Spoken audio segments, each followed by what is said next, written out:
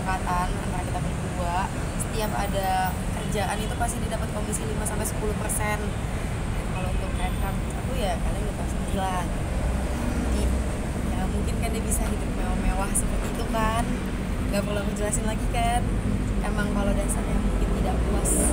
Ya seperti kalian boleh melihat ya kalian Batara ini selama sama hidupnya hidupnya mewah. Berapa sewa apartemen coba Emang yang Pak Ji tahu berapa? Enggak. kalau sa- saya nggak enak lah ngomong pokoknya kalau di saat dia bersama gede dapat duit.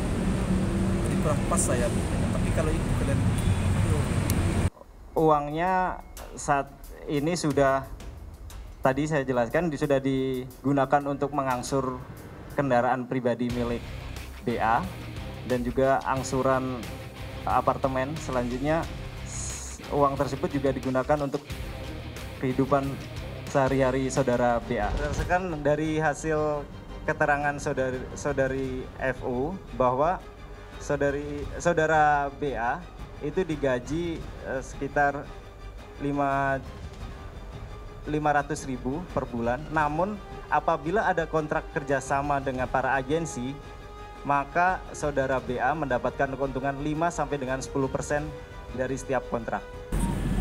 Ya aku penjelasan dari tadi itu kita udah ada kesepakatan berdua setiap ada pekerjaan dia akan mendapat 5 sampai 10 persen sesuai budget berapapun itu yang akan aku dapat Iya betul, tapi kan ada ada pernyataan dia yang 500 ribu itu, itu maksudnya seperti apa ya? transport kali ya Ke depan ya. bunyi. Transport ya? iya kalau pembelaan dia aja terserah dia mau ngomong apa case ini akan dilanjutkan sampai ke pengadilan.